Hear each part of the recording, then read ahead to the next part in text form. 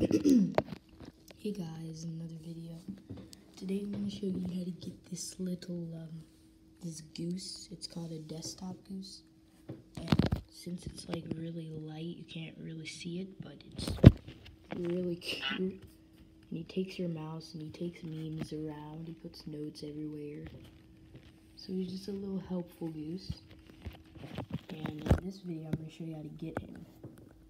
In other videos, I'll show you how to make your own memes for him and all that, but you'll see. So, um, I have no idea where he went. Oh, okay, he, what? Where is he? oh, uh, he's going back and forth, I'm gonna have to catch him.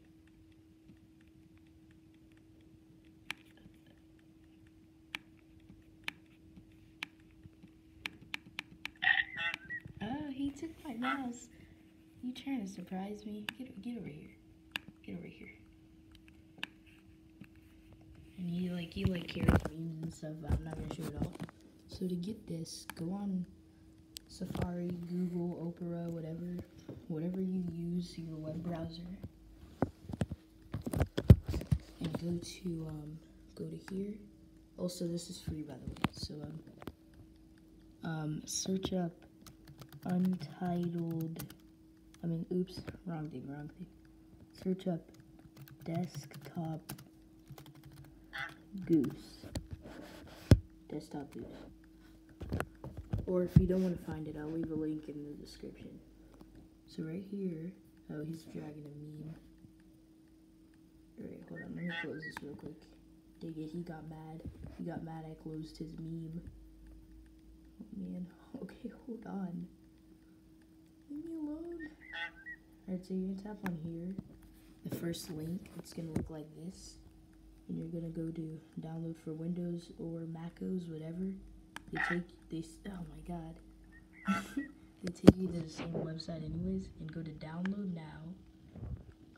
And it's gonna say name your price. But if you don't wanna pay, um you could go to no thanks, just take me to the downloads and right here it'll say download. So desktop goose for Mac or desktop goose for Windows. So just download any one of these and um, on, let me just show you from here because I already have it downloaded. So once you download it, you know, go to it and open it. And then when you open it, it's gonna like unzip and all this stuff and it's gonna open this and it's gonna say readme honk and desktop goose if you're on windows or whatever and then you open this and your goose will come and so yeah that's how you get it and if you want to know how to um, get rid of it well i'm on mac and when i'm on mac if i just um, on mac if i just shut it down then um, it uh it already leaves, but I'm pretty sure there's another way to get rid of them. Oh, wait, wait, I remember, I remember. So hold down escape. And they should like go away if you're on Windows. I'll, I'll teach you how to get rid of them on Mac later. So I'll see you guys in the next video.